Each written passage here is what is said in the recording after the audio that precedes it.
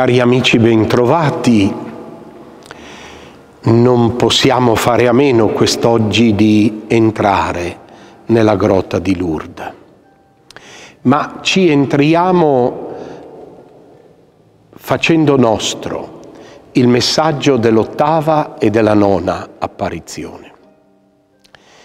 Era il 24 febbraio del 1858 e la signora di Massabielle per l'ottava volta si presenta a Bernadette. E questa volta con un messaggio forte. Penitenza, penitenza, penitenza, pregate Dio per i peccatori, baciate la terra in espiazione dei peccatori. Gesto che Bernadette compì in obbedienza assoluta, anche se questo evidentemente ha suscitato lo sconcerto e il disprezzo dei presenti. La stessa cosa avviene il 25 febbraio, il giorno dopo, nona apparizione.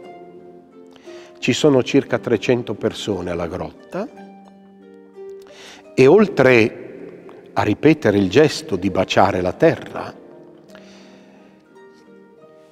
su richiesta specifica della signora, Bernadette scava con le mani nel terreno melmoso e trova non subito, non immediatamente, una sorgente d'acqua. Bernadette riferisce, lei mi ha detto di andare a bere alla fonte. Prima va verso il Gav, la Madonna la richiama indietro, gli indica il luogo dove deve scavare e dice trovai un po' di acqua fangosa, quindi deve buttare via, deve ripulire. Alla quarta volta potei bere. Ve la immaginate Bernadette in ginocchio che beve quell'acqua, forse non ancora del tutto pura, e che si lava il volto con quell'acqua davanti agli occhi sconcertati dei presenti. Lei mi ha fatto anche mangiare dell'erba che si trovava vicino alla sorgente. Quindi la visione scomparve e poi me ne andai. Dinanzi alla folla che le dice, sai che ti credono pazza facendo cose simili,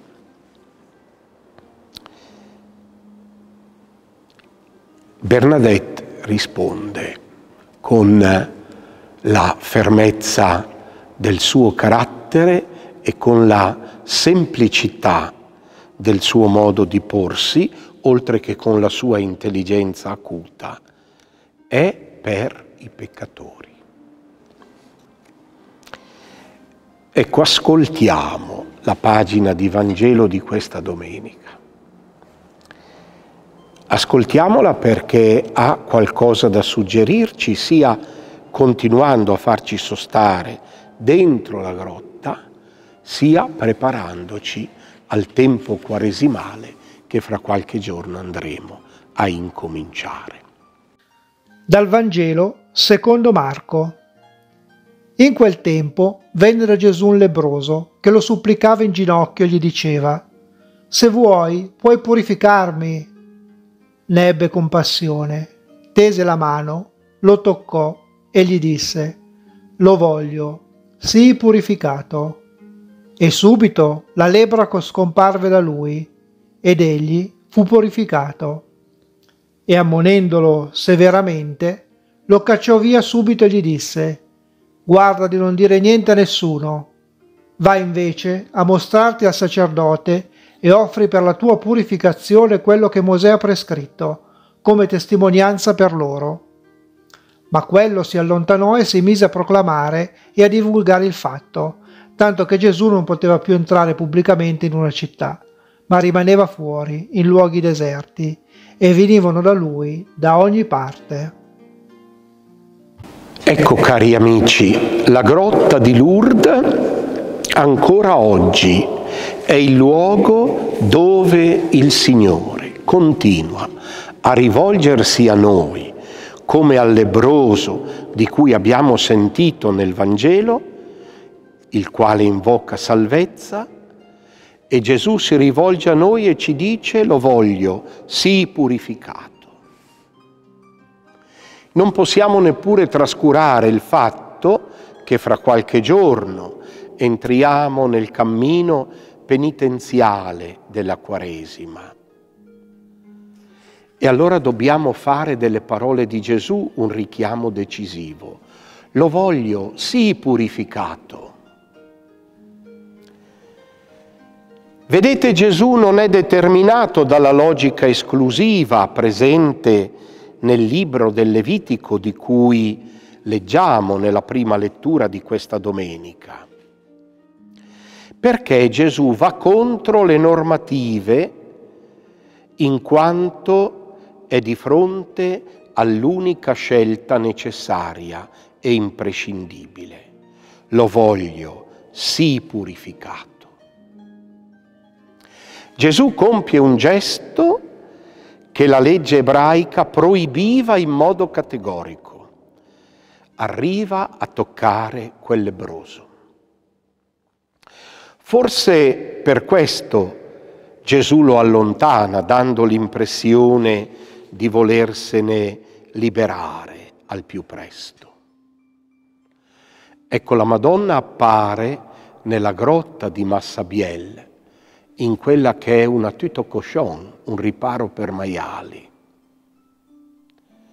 un luogo insignificante, povero.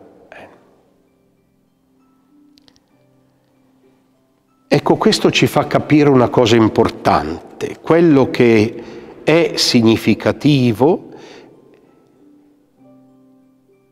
è che quell'uomo non riesce a liberarsi dal male se non con l'aiuto di Gesù. Quel Gesù che lo ha risanato nel corpo e nello spirito, lo vede diventare suo testimone, rompendo qualunque schema diplomatico e di riservatezza, provocando qualche difficoltà evidentemente alla missione stessa di Gesù. Gesù si dice che non poteva più entrare pubblicamente in una città, ma rimaneva fuori, in luoghi deserti, e venivano a lui da ogni parte. Mi fa pensare al popolo di Dio, ma anche a quel popolo di non cristiani, a volte di non credenti, che è attratto dalla grotta di Massabiel che lì arriva, lì giunge, per cogliere in qualche modo un po' di serenità, di pace, di luce. Ecco, il dono della salvezza è inevitabilmente contagioso e colui che ne è portatore si nasconde perché è già evidente la testimonianza su di lui. Ecco, questa pagina di Vangelo ci chiede di entrare a far parte della vita di questo lebroso, del suo isolamento, della sua esclusione, della sua fatica, del suo essere allontanato da qualunque rapporto sociale. Gesù lo riammette a una vita sociale va a mostrarti al sacerdote e offri per la tua purificazione quello che Mosè ha prescritto, come testimonianza per loro. Il Signore liberandoci dal peccato, invitandoci alla penitenza, facendoci strumenti per la liberazione dei nostri fratelli e sorelle, ci rende davvero capaci di vincere il male come lo ha vinto Lui.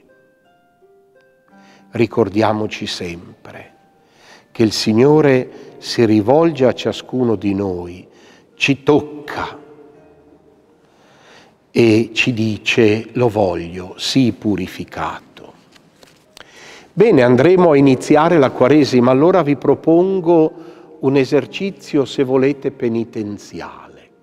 Leggete bene il Vangelo di Marco in questa Quaresima e sottolineate tutte le volte che Gesù tocca fisicamente qualcuno. Scoprirete delle cose splendide. Perché? Perché davvero è la sua carne a salvarci. Per Bernadette alla grotta di Massabielle non è stato tanto importante vedere Acherò, vedere quella che sta là, vedere la signora della grotta di Massabielle. Lei lo scoprirà tra l'altro dopo la sedicesima apparizione che a manifestarsi alla grotta di Massabiel era la Vergine Maria. Però lei va alla grotta per un fatto molto semplice, perché si sente avvolta, custodita in un rapporto personale. Mi parlava come si parla una persona e noi a volte guardiamo la grotta nella sua staticità, come se la Madonna fosse sempre stata là in alto. Non è così. La Madonna scendeva, passeggiavano insieme dentro la grotta si parlavano, comunicavano come tra due amiche. Ecco, rileggiamo bene il Vangelo, andiamo a vedere come il Signore si fa accanto a noi e ci tocca. Ci tocca fisicamente, ci tocca perché è vicino. Questo certamente ci aiuterà a vivere il cammino della Quaresima che abbiamo dinanzi e ad essere risanati da ogni male. Buon cammino, buona domenica a tutti voi.